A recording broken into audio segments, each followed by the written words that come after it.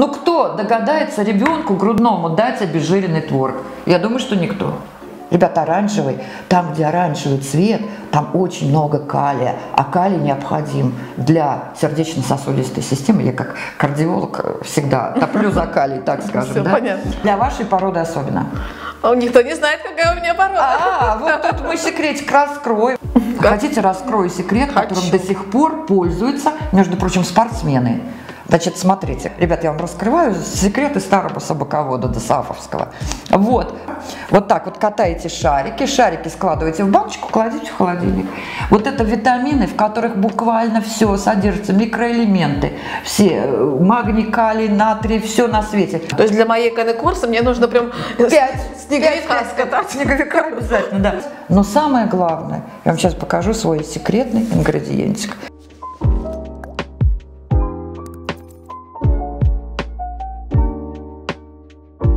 Если это шерстяная собака, то обязательно витамины группы В. Либо включать даже в сухое питание, вот это в среднее кормление, о котором мы говорим, среднее, да, вот обязательно включать а, вещества, содержащие провитамины. Что такое провитамины? Это вещества в процессе пищеварения, которые в желудке, в кишечнике превратятся в витамины. Что полезно? Морковка вареная, не сырая. Не сырая. Нет, не сырая. Такая полувареная. Ну так, если морковку варить минут 15. Значит, морковка, авокадо, болгарский перец уже говорила. да? Желтого цвета. Жел- оранжевого. Оранжевого. Не путайте, оранжевого, Оранжевого цвета. цвета. Дальше, значит, э, сухофрукты. Ребят, сухофруктов калий, магний, натрий, группа В, вся. Вот это так полезно. Это шарики. Это которые мы шарики, шарики, о которых мы говорили, да, сухофрукты. Ори... Ну вот с орехами тут, ну вот мы в шарике-то орех грецкий положим, да.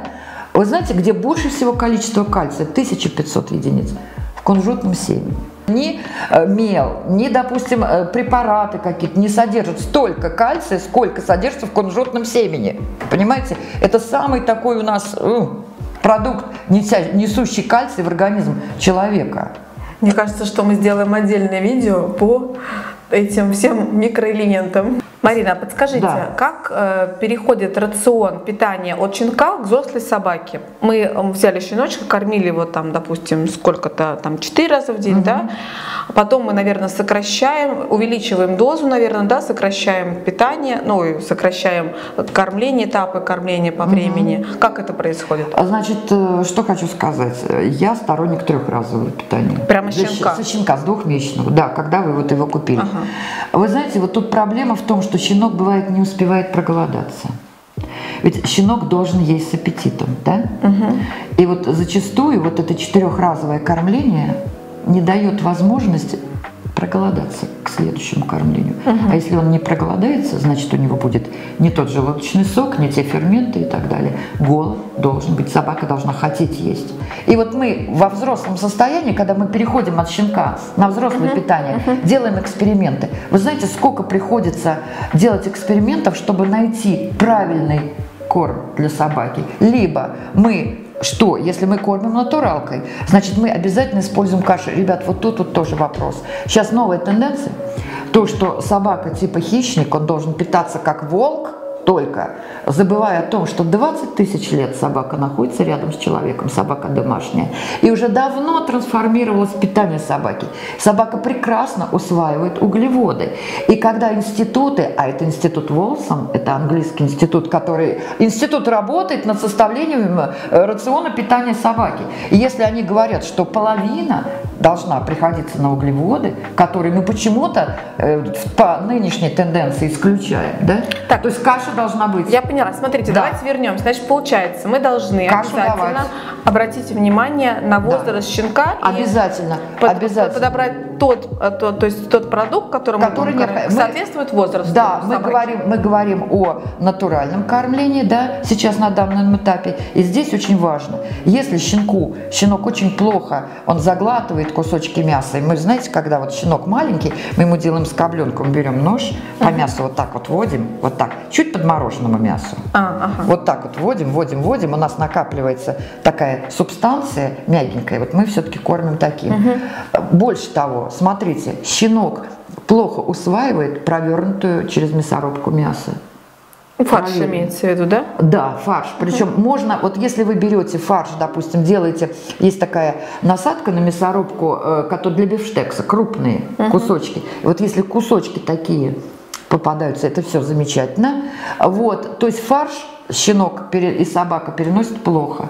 Мы И взрослая увеличиваем, да, мы увеличиваем кусочки мяса в зависимости от роста собаки при натуральном кормлении. Мгм. А при- Кашу обязательно, обязательно кашу. Учитывая то, что рис у собаки усваивается не так, как у человека, а полностью. Собаки на рисе толстеют. То есть у них крахмал из рисовой крупы усваивается 100%. Не усваивается перловка. Нельзя перловку. Есть проблема с геркулесом. И вот знаете, в чем проблема с геркулесом? в аллергической каши, реакции. Какие каши рекомендуете тогда? А я рекомендую геркулес, э, кашу дружбы, как мы называли. Это геркулес и рис, да? Если нету, Совместно? совместно. Вместе сварить? Да, а еще можно, допустим, гречка и рис. То же самое. Гречка, рис, геркулес, три каши. Учитывая, что на геркулес может быть аллергическая реакция. Идиосинкразия. Смотрим от собаки. От собаки. У кусочки мяса, в зависимости от возраста, мы увеличиваем. А Помните Простоквашино? Мы говорим, давайте мясо в магазине покупать, там костей больше. И тут незапланированный вопрос. Знаете, в чем он заключается? Собака должна есть твердую пищу для того, чтобы зубы были крепкие, эмаль бы служила долго и не было бы ее пожелтения. А для этого нужна твердая пища. А вот сухой корм – это не твердая пища, это мягкая. Собака должна жевать. Коленные чашечки, даже для йоркширского терьера, даже для чихуа вот такого вот крошечного, как сейчас модно. Просто маленькую коленную чашечку. Нет, большую, давайте большую говяжью коленную чашку. Он будет ее мусолить там двое суток, трое. Ради бога. Вот именно коленная чашечка. Да? Да. А Если касается крупных собак, можно давать лопатку. Понимаете? Кости. Но кости... э, Так, в каком, хорошо, мы сейчас про щенка. мы говорим переход на взрослое Да-да. питание. В каком возрасте можно давать эти кости тогда? На смене зубов обязательно. А, Четыре, с четырех месяцев, С четырех месяцев. Причем, знаете, что существует вот такой вот, такая легенда, что на смене зубов кости давать нельзя. Можно давать кости, потому что из костей собака убирает, забирает себе коллаген, она забирает кальций. То есть можно давать, но, еще раз, Тут еще очень много зависит от э, сустава челюстного. Скажем так, к пяти месяцам челюстной сустав собаки встает на место. И То то, есть есть уже вот после, После пяти пяти. месяцев не вытянешь его, так скажем, да? А, с четырех месяцев. не, сдвиг не будет, ничего. То есть в 5 месяцев встал сустав, давайте кости. Все. Подводим итог. Да, с Да, вами всего да, сказанного. давайте. Итог следующий, что очень важно знать возраст и рассчитывать рацион питания соответственно возрасту, соответственно породе. Что э, кормление лучше обязательно, только не два раза, не один раз в день кормить собаку. Потому что, ну это расскажем потом, это очень сложный процесс. Желчь должна выходить э, у собаки, как и человеку нельзя два, один раз в день питаться. Да? Чем чаще, тем лучше да, для человека. Собаке нужно обязательно три раза в день, даже взрослый есть, обязательно. Дневное должно быть кормление присутствовать. Еще раз говорю, давайте вкусняшки. Щенок ест, ну, на мой взгляд, три раза. Если кормите четыре. Если ест с удовольствием не толстеет. Вот, ради бога. Значит, это раз. Дальше. А, то, что в зависимости от физической нагрузки питание должно быть. Это обязательно тоже. Дома ли сидит, на улице живет или занимается спортом, тоже. Третий момент. Сухое, натуральное мы будем с вами еще обсуждать. Но самое главное, я вам сейчас покажу свой секретный ингредиентик. Если можно, подойти сюда и Да, показать. конечно. Вот это у меня такая есть таблица какашек. Видите? Да, не бойтесь этого вопроса. И не бойтесь, э, по центральному телевидению я про какашки рассказывала. Очень важный момент. Это показатель какашки, это показатель того, правильно ли вы кормите собаку натуральным питанием или же сухим. Вот, вот эти вот вот эти фекалии, так скажем, которые вы убираете на улице с помощью целлофанового пакетика, это обязательно. И сейчас во многих парках стоят специальные э, урны для фекалий собачек, да. Так вот, вот эти вот, вот такой вот вид э, какашек ваших собачек, да, убранных соответствующее место, должен быть и показывать, что собака ест правильно. Все остальное, что здесь присутствует, это есть таблица в интернете, она просто без объяснений есть. Так вот, вот это должно быть у вашей собаки. И когда вы убираете э, за собакой, э, не должно оставаться следа да, на земле, и в руках не должно рассыпаться. Вот такая вот она должна быть. И если вот это есть, черное, как можно более темные, со стуком падающие на пол или на асфальт, это показатель того, что вы правильно кормите собаку.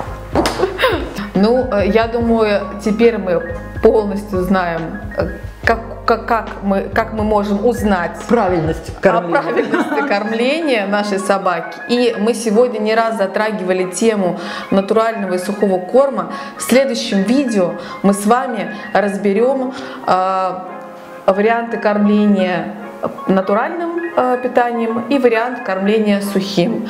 Как они отличаются и как ими кормить. Подписывайтесь на наш канал. Ставьте лайки и подпись. Ставьте лайки и подпись. Если вам было интересно или у вас остались вопросы, э, оставляйте их в комментариях под видео.